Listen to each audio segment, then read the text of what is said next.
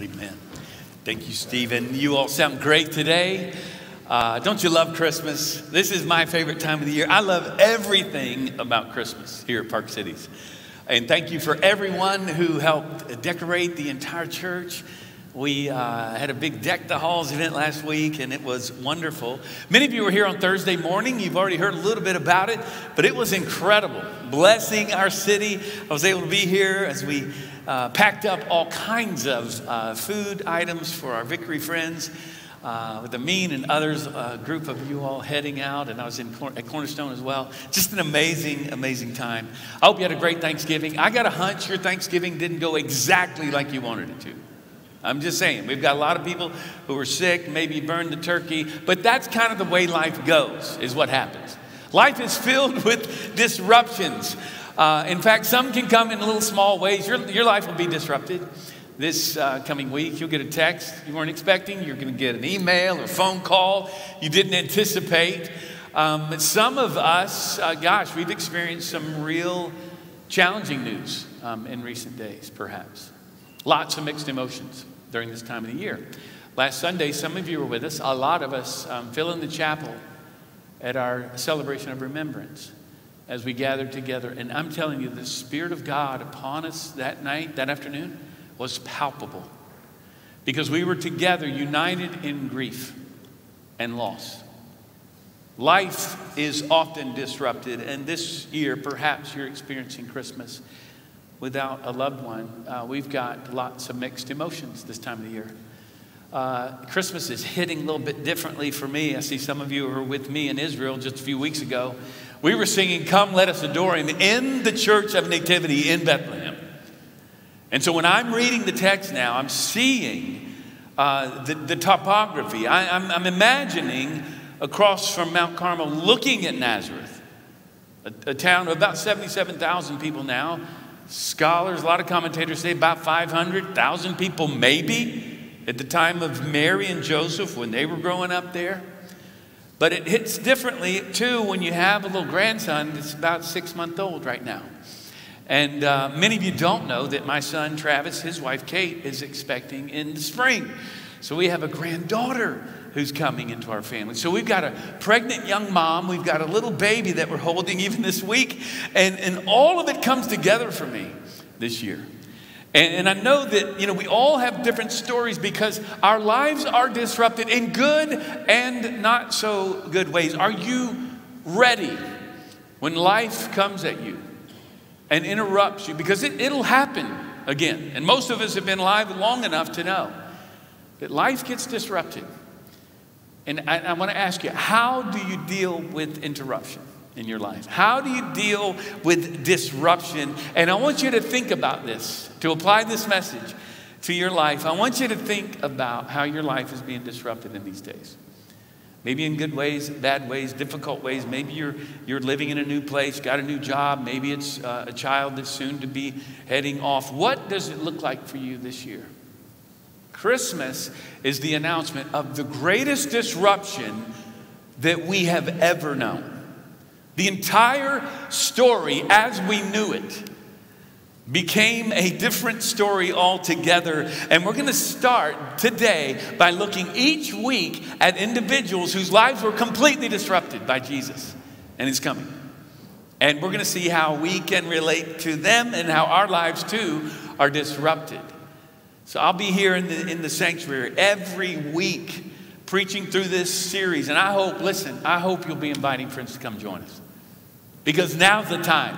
That when's the last time you invited someone to come? Because at Christmas time, it's a simple ask to say, hey, I'm curious.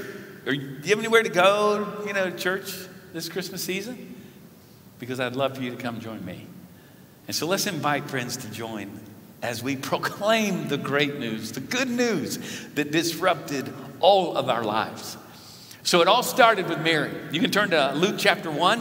And I'm going to set this up a little bit before we get to where you can, I mean, you can take notes throughout, but I'll, I'll lay out uh, the outline here in a moment. But I want us to look at Mary and really get to know, look and peek in to who uh, this young woman, likely teenager, was. Nathaniel expressed the common sentiment uh, of what people thought of Nazareth at the time when he asked the question Does anything good come out of Nazareth? When they had told him, The Savior, we found him. And he's from Nazareth. That's where he's growing up. That's where he's grown up. And, and we know now much good can come out of Nazareth, right? Because God chooses lowly people, obscure places to do his best work.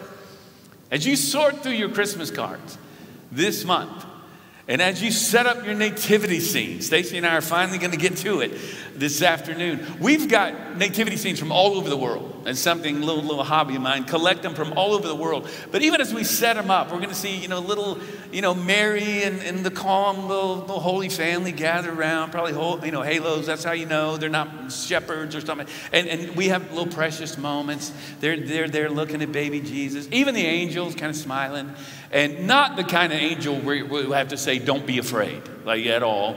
Um, and, and we, we have somehow uh, dis, you know, have this Mary, she's the most unruffled, calm, first time mom ever, evidently.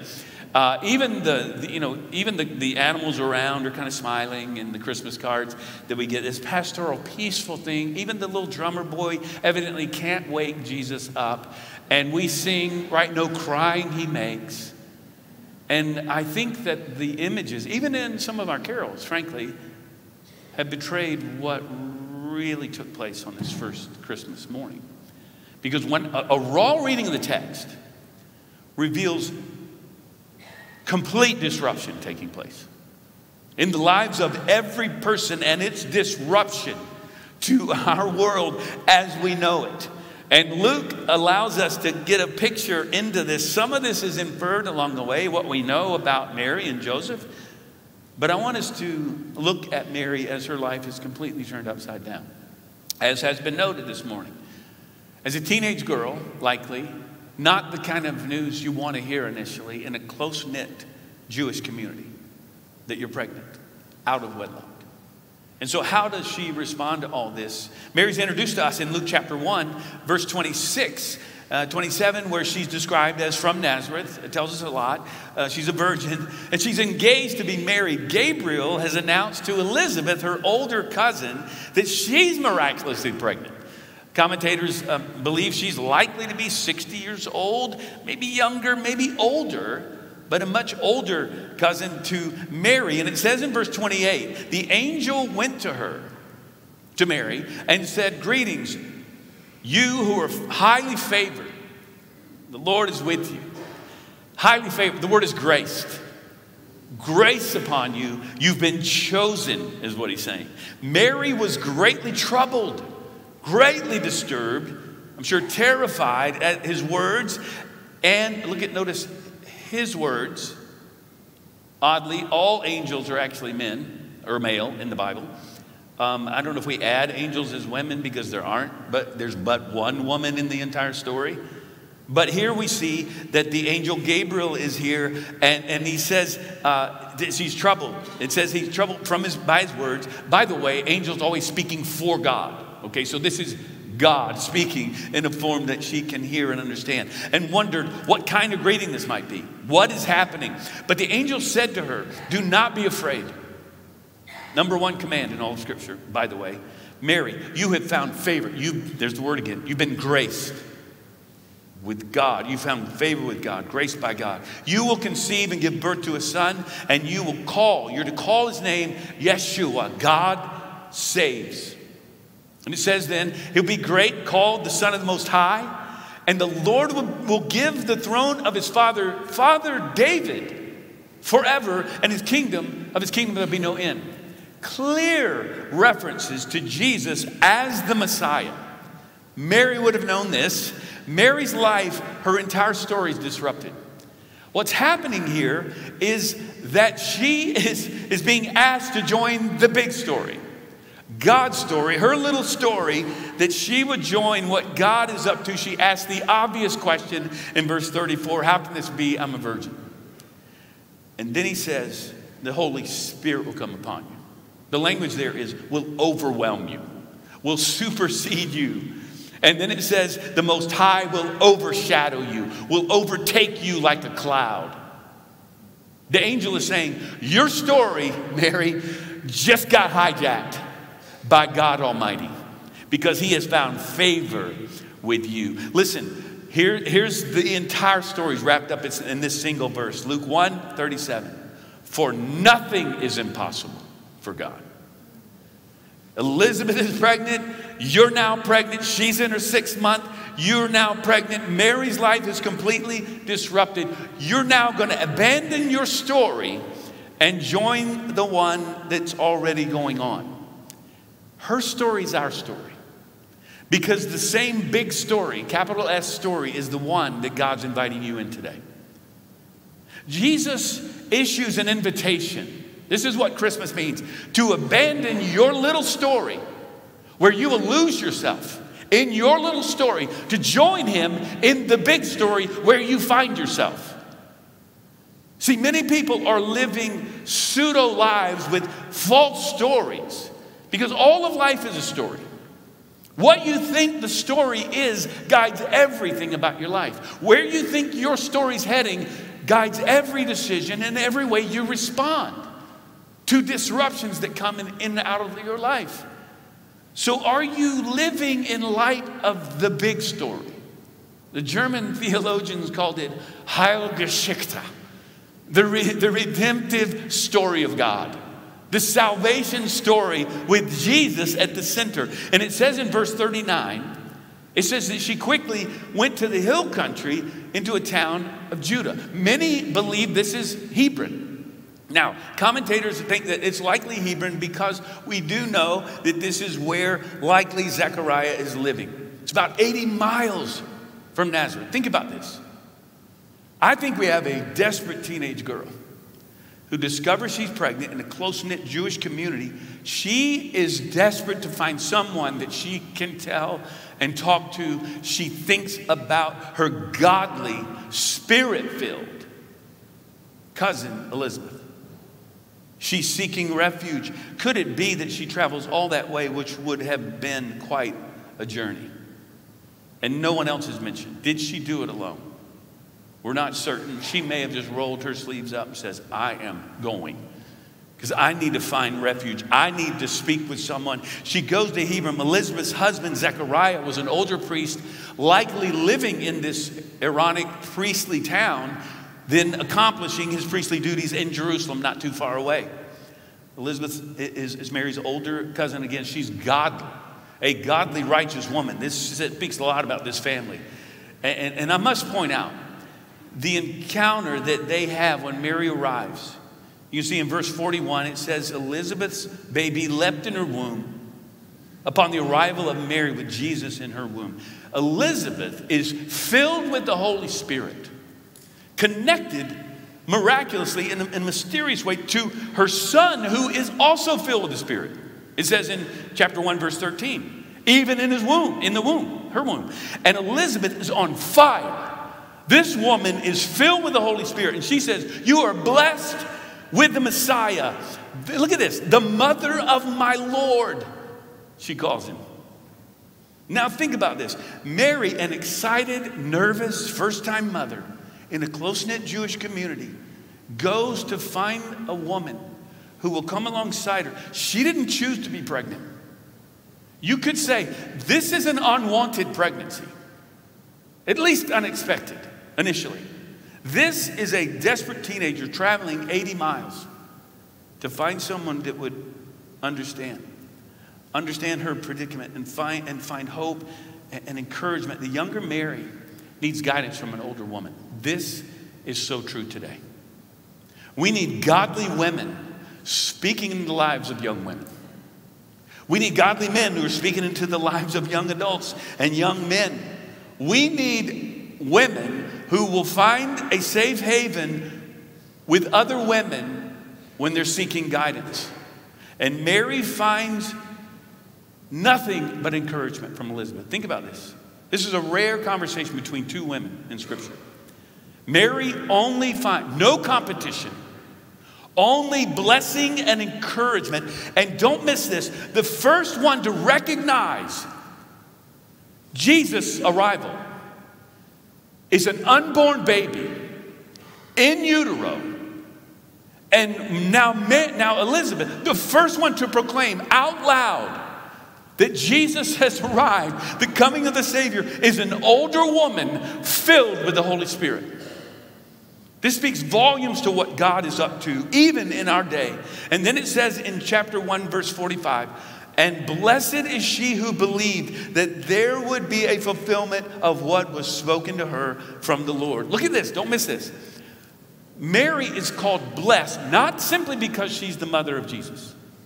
She's called, she's blessed. Here's why. Because you have believed that what God said is going to happen is going to happen. Mary is marked by humility. That's why God chose her and she believes. What did Mary believe? I say all this because I'm fascinated by that story of these two women. But it's also to set up. What, what did she, Mary, what did you know? What did Mary know? She, she knew a lot. And we see it in the Magnificat, okay? So she knew baby Jesus. Think about this. She knew the boy Jesus, she knew the baby Jesus, like no one else, like any mom. She knew the son. Jesus growing up. She knew him as a teenager, she knew him as a young man. She knew Jesus more than anyone on the planet. She knew him better than anyone ultimately. And it's because she just said, I believe. And I'm challenging all of us this Christmas season, friends. I'm just challenging. Here it is believe. And you can pray the prayer with me Lord, I believe. Like, like the, the, the man whose, whose son was healed. Help me with my unbelief. Because listen, it's not, it's not just your belief that matters. It's not the amount of your faith, it's the object of your faith. Mary trusts in God because she knew, watch this, she knows who God is. She knows what he's up to in the world. So, Mary, what did you believe? We see it in the Magnificat, which is Latin for magnify. Look at chapter 1, verse 46. This will serve as really the, the, the, the outline now from this, this, this point on in the message. And here's what I want you to see. First of all, we, are going to replace your, your worry with worship. That's what Mary does. Look at this, verse 46. And Mary said, My soul magnifies the Lord, and my spirit rejoices in God, my Savior. For he has looked on the humble estate of his servant. For behold, look, from now on all generations will call me blessed. For he who is mighty has done great things for me, and holy is his name. Three ways I want you to see that, that, that we can respond to interruptions. Again, consider a disruption in your life right now. Number one, replace your worry with worship. Listen, look, Mary magnifies the Lord. This is like a magnifying glass. You, you can't make him bigger than he is, but you can glorify. That's the other, other translation. The more you worry, the greater, the bigger your worries become. When you magnify your worries, then your worship decreases. When you magnify the Lord, you focus on Him and who He is and what He's done, your worries diminish. When we magnify God, our worries are minimized. Where's your focus these days? And, and why are you worrying so much? Why so much anxiety? What are you putting into your mind? Because a lot of us are putting all the worries and troubles of the world into our minds when we should be magnifying something else, someone else. The more you worship, the more your problems are minimized. This hit me this week. Why wouldn't we all be running to church on Sunday mornings? If this is true, that we come together, encouraging each other, loving the Lord, exalting His name, glorifying Him, and our problems are diminished because they are dominated by the fact that our God is all powerful. No wonder we teach our kids our God is so big, so strong, and so mighty. There's nothing my God cannot do. Friends, some of you need to hear this today. It's wrapped up in verse 37. There is nothing impossible for God. And we need to focus on Him so that our worries will decrease as our worship increases. Our, uh, of course, this demands that we, like Mary, become humble. This is our, pro- this is our problem. It's pride. We've got to believe that God is present and that He is already at work in the world. This is why Mary is chosen. She says what we all need to hear. In, in essence, her posture Lord, I'm not in charge. Friend, you're not in charge of your life. You don't know what's coming. We need to humble ourselves like Mary and say, I'm your servant. Do with me what you want. Interrupt my life. Disrupt my life. Mary, what did you know? Look at verse 50. And his mercy is for those who fear him from generation to generation. Charlotte read it earlier. We, he has shown strength with his arm. He has scattered the proud in the thoughts of their hearts.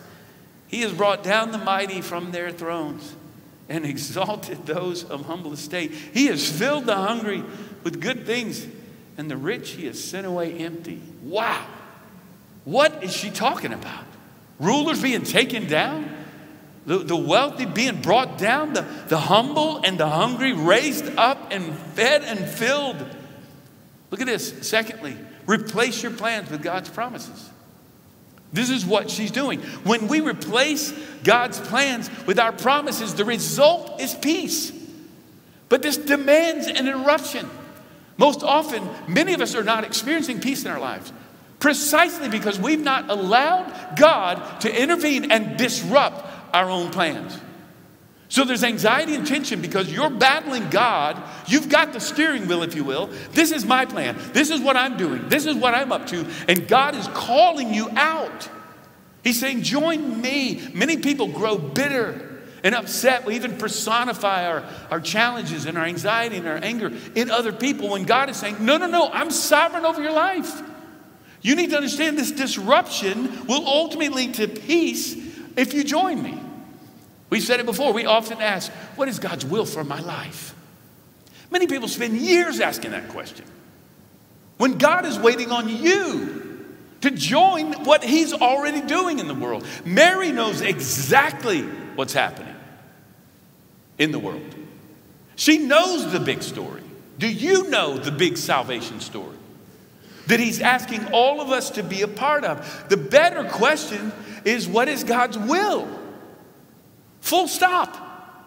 What is he up to in the world and, and how can I join him? Many, listen, many of us, we're wondering, what, what do I do? What, what does God want me to do? Does he want me to join the church? Should I join a connect group or like get involved in, in grow classes? Or should I serve somebody or love a neighbor or coworker? Or what, what should I do? I, Lord, tell me what. And the Lord's waiting on you.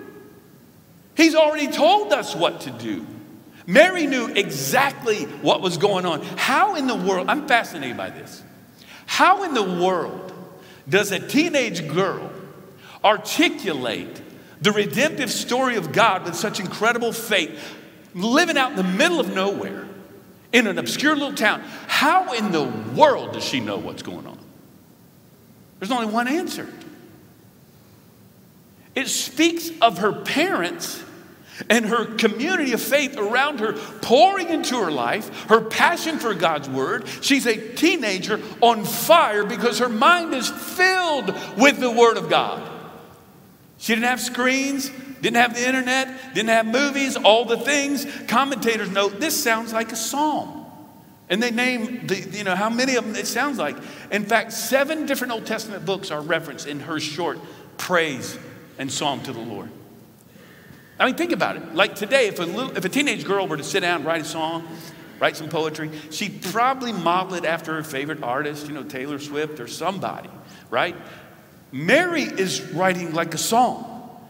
She's just emulating what she already knows and what God is up to in the world. So, my question for all of us, not just our teenagers, but young people here do you know God's word? You can be just like Mary because your life is going to be disrupted. Parents, are you teaching your kids? Church family, are we pouring into young women and young men to say, your life's going to get interrupted if it hasn't already? It's going to get hijacked. And are you ready for that? And the only way we can be ready is to understand the big story of God, what He's already doing in the world. Do you know it? And are you willing to join Him? See, we're to, we're to replace our worry with worship. It's the only way we overcome worry, is to magnify Him. And we are to replace our little plans that we get lost in with His big plan where we find ourselves. And finally, we replace our ability, play, replace your ability with, his, with, with your availability. That, that's all that Mary did. She just made herself available. She didn't have any great gifts or, something to bring, it doesn't seem. Look at verse 54. It's all wrapped up in community as well. She's not thinking about herself. Look at this. He has helped his servant Israel in remembrance of his mercy, as he spoke to our fathers, to Abraham, and to his, his offspring forever. And Mary reminded, uh, remained with her, that's Elizabeth, about three months and returned to her home. And no wonder she stayed with Elizabeth in this first trimester. She was there being encouraged, being loved. Friends, are you going to allow your life to be disrupted? And this month, are you going to look for people in need? Are you going to point them to Jesus? What is God calling you to do? Because here's what Mary is. She's singing, she's singing this. This is my story. This is my song. Praising my Savior all the day long. Can you join her? By singing with your life. My soul rejoices in God, my Savior.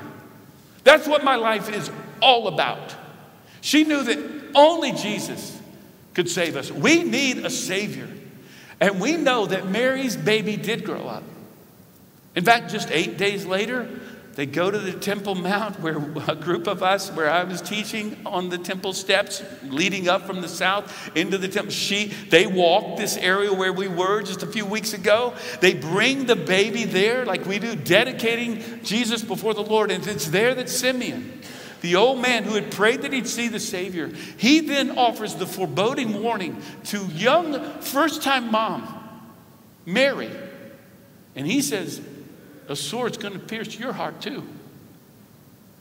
And she would watch her son grow up, move from, from Nazareth to a little region called Galilee, just north of the Sea of Galilee, where he'd spend much of his time in ministry. He would end up in Jerusalem, and there he would end up there one last time, where Mary would watch her little boy die on a cross at a young age, and she would watch in horror as her son would die before her, for her, and for us.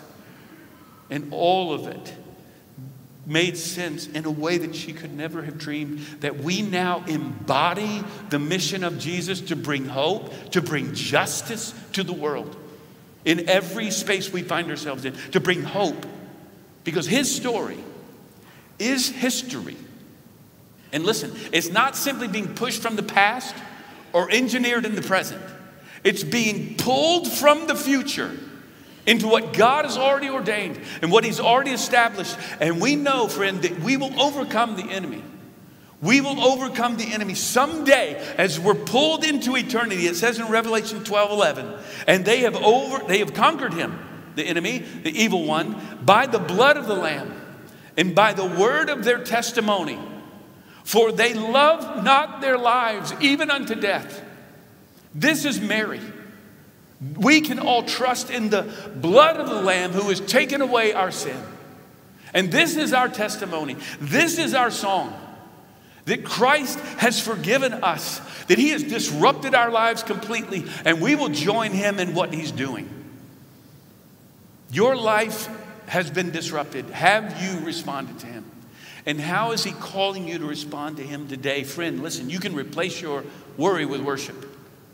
You can replace your little plans with His eternal plan. And you can get on board and decide in what ways you're going to do that today. For some of you, it might be joining the church. It may be receiving Christ today. You've not done that. You're not clear on that. It may be as bold and courageous as talking to someone after this service or this week or talk to someone that you're with to share how is God disrupting your life in all the right ways. And you can replace your ability or lack thereof with a simple availability. Say, Lord, I'm, I'm yours. Do with me what you will. And you watch what he does. Let's pray together. Lord, we thank you for this amazing woman the story of this young woman that you chose, that we would know nothing about unless you chose her. Lord, you're choosing us today, and we respond to you with obedience. Lord, I pray that every one of us will decide exactly how we're going to respond. And let us first tell someone. Let us share how you've interrupted our lives, and we will say yes to you, whatever it costs, because we love you more than our own lives. Lord, help us not to waste our lives. With the days that we have remaining on this planet, that we would live out the story that you've already begun. And we'll find our place in it. And in so doing, find ourselves in what you've created us to be and to do. May this be the greatest Christmas we've ever known. May we be bold in our testimony that Jesus alone saves. Lord, we love you and we praise you. In your name we pray. Everyone said, Amen and amen. Hey,